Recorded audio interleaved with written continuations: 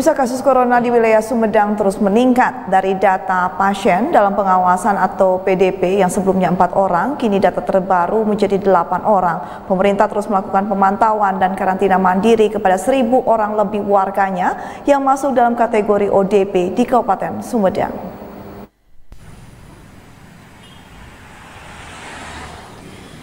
Hingga saat ini penyebaran virus COVID-19 terus meningkat di Sumedang, Jawa Barat.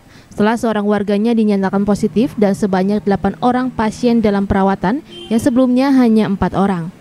Sementara itu 1.702 orang dalam pengawasan dan masuk kategori berisiko.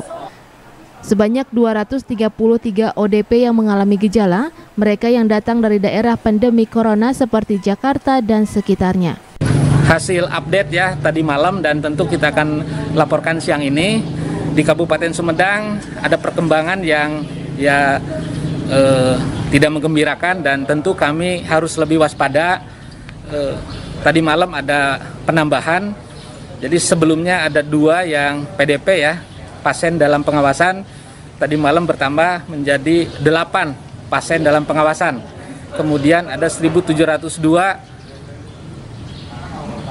orang dalam pemantauan yang berisiko ya dan ada 233 ODP yang bergejala. Dengan kondisi seperti ini, pemerintah berencana menerapkan sistem lockdown kewilayahan demi menekan penyebaran virus COVID di wilayah Sumedang. Diki Guntara, Bandung TV.